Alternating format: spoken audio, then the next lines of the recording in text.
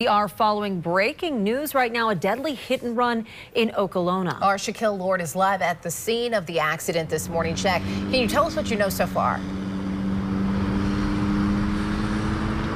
Yeah, Carrie, well, the search is on for this woman who ran away on foot after being involved in this deadly hit and run right here on Outer Loop. Now, if you take a look over my shoulder, this is the scene right here. This is as far as investigators are letting us go right here on Outer Loop. The hit and run took place a little bit further from where we're standing. So here's what we know so far from police. They say a little bit after 3 o'clock this morning, a car that that woman was driving took an opposing left turn, crashing into a motorcycle motorcyclist, ultimately killing this man. Now, they say, according to several witnesses, that woman got out of the car and then ran away on foot. And this has been the scene here for the past several hours as investigators are trying to find this woman. Now, they did say, again, several witnesses saw this happen, so they're hoping maybe one of them uh, maybe have a description of this woman. Now, unfortunately, this man was pronounced dead on the scene here in the Okolona area. But as of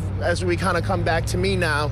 Um, Police have been directing traffic right here on Outer Loop for the past few hours. Obviously, to get to where that hit and run took place has been closed off for quite some time. But again, police, they are saying they are searching for a woman that was involved in this hit and run. She left the car here.